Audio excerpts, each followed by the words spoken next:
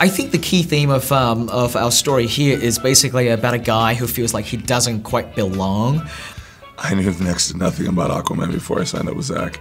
You know, he has sort of um, the ability to swim and talk to fish, and uh, and uh, and he's the king of Atlantis. But when Zach told me what he wanted and how he wanted to play this character, I was in, and that was five years ago. And you know, since then, you know, being the doing Justice League, which is just kind of like a weekend in Arthur's life.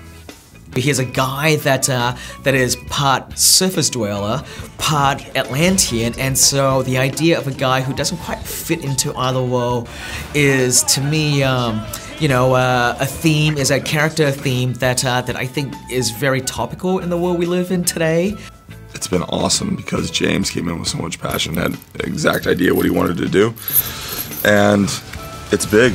I don't think we've seen anything like it before. So the opportunity to design, you know, a, a visually interesting world that we haven't quite seen before was uh, the other big draw card. Seeing Atlantis for the first time was was just thrilling. I mean, from the music to the to the design, um, every department pushed to their limits. Um, going into it, I knew that I wanted to create something that we haven't kind of quite seen before. Okay, what would it be like? What would their buildings be made of? Would they be buildings? Would they, where, how would they get their light? Is it bioluminescence? Of course, there's nothing else down there. Pulling from the, uh, the sort of the mythology that we're familiar with with Atlantis, you know, in that it was a very powerful nation at one point that, you know, they got too powerful for their own good, they sank, and then, uh, and then from that, you know, um, we get modern day Atlantis. There's so much mystery about the ocean anyway that it's nice to sort of just um, imagine that something like that could exist somewhere because it almost feels like space. Aquaman,